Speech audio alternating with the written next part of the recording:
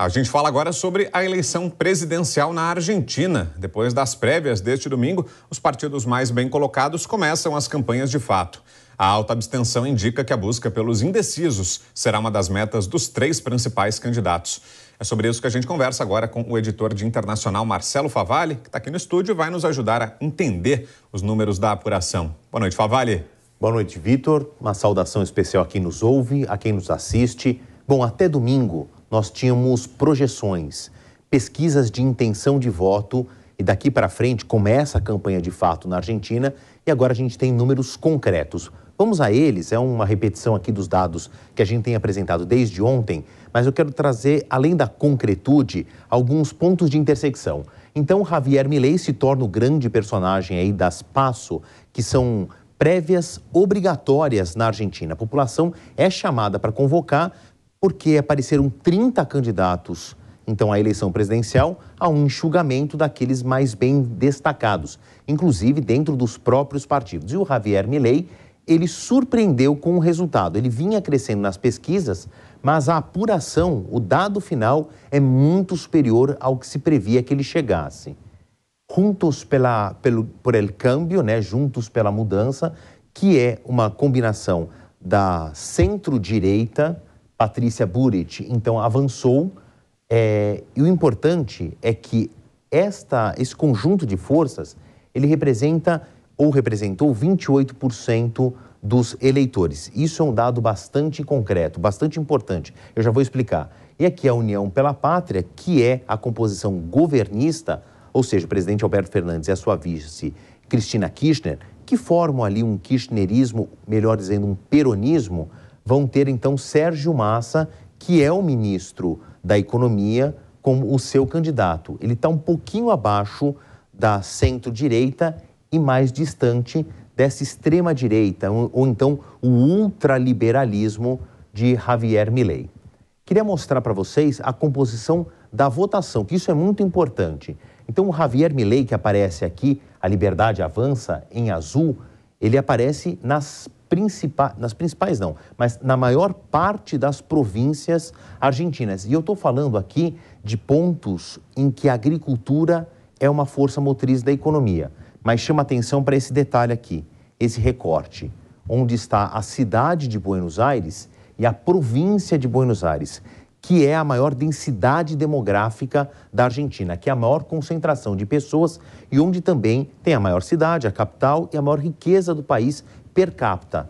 E aqui a gente teve, então, este partido governista, mais de centro-esquerda, mais da situação. Se repete em outros pontos, e aí essa coligação da centro-direita, que embora tenha muitos pontos, a Patrícia Burit, que vai ser a sua representante, então, a candidata, aparece com força, foi majoritariamente votada em uma região rica que não coincidentemente é a região que faz fronteira aqui com o Brasil e Uruguai, que vive muito desse fluxo de exportação de produtos. A gente entende aí, esse foi a composição que eu peguei de ontem, quando tinham quase 98% das urnas apuradas. Esses 2% não vai mudar dessa composição de desenho.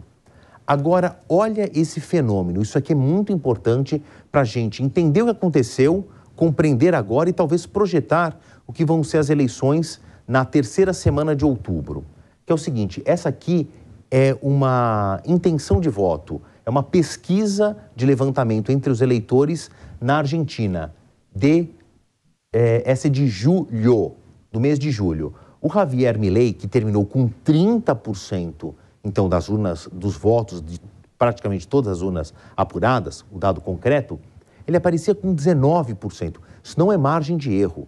Não é um pouquinho a mais, um pouquinho a menos. A diferença é de 11 pontos percentuais. Então, a pesquisa de julho, um pouco mês antes da eleição, não havia previsto esse crescimento de Javier Milei, esse ultraliberalista. Os outros dados estão relativamente alinhados. A gente sabia já, havia então uma indicação que a Patrícia Boric seria escolhida dessa coalizão de centro-direita e que a centro-direita teria aí na casa dos 30% dos votos e a situação, né, o partido governista, um pouquinho acima de um quarto dos votos dos 25%, alguma coisa nessa casa. Este dado aqui é fundamental para a gente entender o que, que vai ser a busca pelos indecisos, para aqueles que disseram que não votariam. Aqui a gente está falando de 5 com 4, 9, 19%.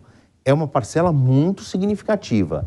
Se aqui nessa conta ele empatava com Javier Milei, a gente está falando aqui de uma força muito importante, porque daqui a pouco nós vamos ter três candidatos majoritários, dos três, dois que vão cabeça a cabeça, provavelmente para um segundo turno, e os indecisos podem ser aí o fiel da balança.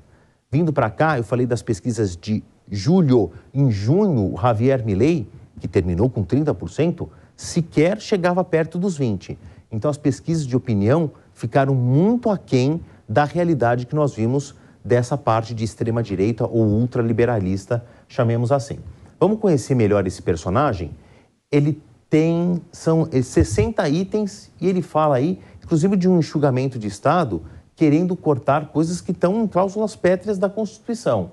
Já a candidata aí de centro-direita fala de reforma trabalhista, ela que foi é, ministra de Estado do governo Macri na área de segurança, algo que vai ser muito importante na campanha também.